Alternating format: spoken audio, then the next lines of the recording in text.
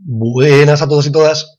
Evaluación final ordinaria. Quiero poner notas dependientes en ECADE. Calificaciones por grupos, seleccionar alumnado evaluar, selecciono mi evaluación final ordinaria y muy sencillo, en el listado de alumnos, a la derecha de todo dice cursos anteriores.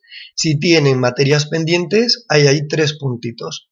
Si hago clic en uno de esos eh, cuadraditos, me dice las materias que tienen pendientes y me permite calificárselas. Haciendo clic en editar, calificaciones pendientes, soy el profe responsable de esa materia. Muy bien, que lo disfrutes. Hasta la próxima.